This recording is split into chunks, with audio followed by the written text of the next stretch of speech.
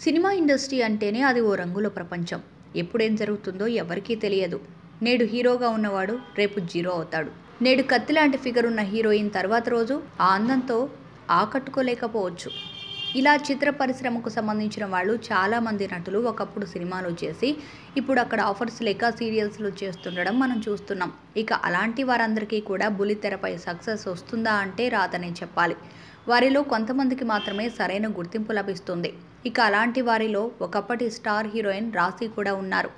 ఒకప్పుడు వెండితెరను తన అందంతో ఓ ఊపు ఊపేసిన ఈ బొద్దుగుమ్మ ఇప్పుడు టీవీ సీరియల్లో కనిపిస్తూ ఆడియన్స్కి మరింత దగ్గరైంది. అందుకే చాలామంది వెండితెర నుంచి బుల్లితెరకు షిఫ్ట్ అవుతున్నారు. రాశి విషయానికి వస్తే బాలనటిగా చలనచిత్ర పరిశ్రమలో అడుగుపెట్టి హీరోయిన్గా ఫేమ్ సంపాదించుకున్న హీరోయిన్లలో శ్రీదేవి మీనాల తర్వాత రాశి అని చెప్పొచ్చు.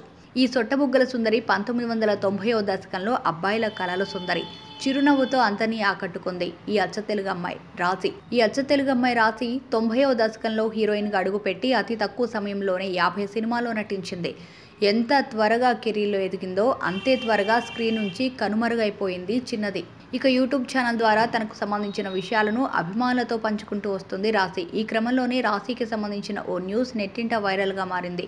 తేజ డైరెక్షన్లో మహేష్ బాబు హీరోగా వచ్చిన నిజం అనే సినిమాలో రాశి చాలా బోల్డ్ క్యారెక్టర్లో నటించి అభిమానులకు ఊహించని షాక్ ఇచ్చింది.